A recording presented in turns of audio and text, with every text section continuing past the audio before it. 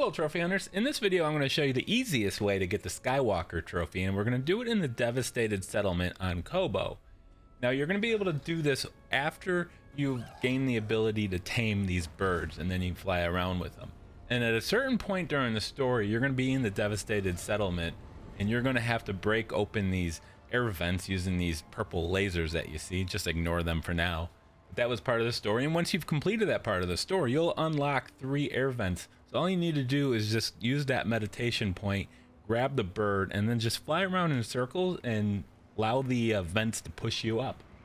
Now you need to stay off the ground for 60 seconds. You can't touch any walls or can't touch the ground.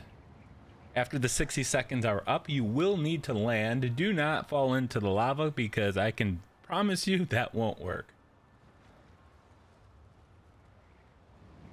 So we're just staying here, floating around, and then as soon as the 60 second timer is nearing completion, I'm just going to land it on the other side safely and walk away with all my bones intact and more importantly, a trophy in my pocket. We just have to stick the landing. Again, can't touch any walls.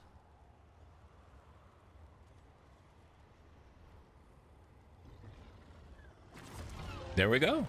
I hope you guys found this guide helpful. If you did, please let me know by hitting that like button. And if you're a trophy hunter, subscribe.